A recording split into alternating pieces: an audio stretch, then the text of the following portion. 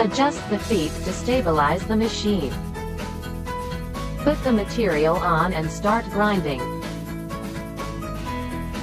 Turn on the machine switch. Press the emergency stop button. Adjust the roller speed. Adjust the roller gap by hand wheel with scale to get the good discharge.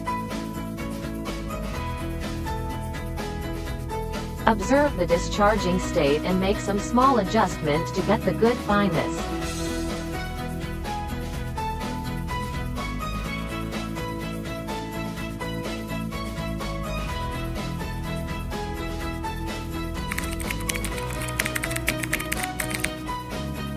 Select the material.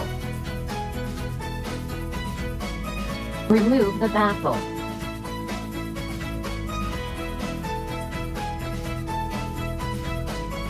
Remove the scrapper. Separate the roller gap by hand wheel.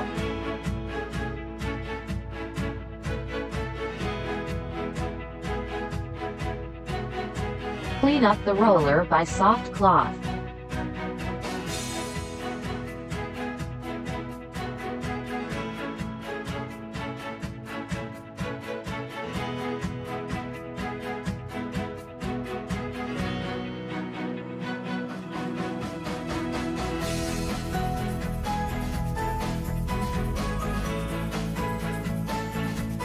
Put the solvent into a clean non-woven cloth to clean the remained materials.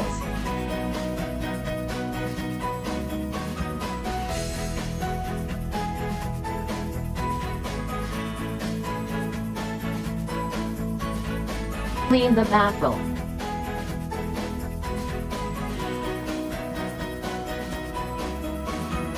Remove the scrapper knife.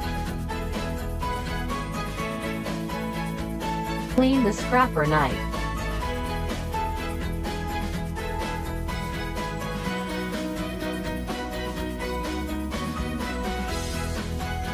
Clean the scrapper.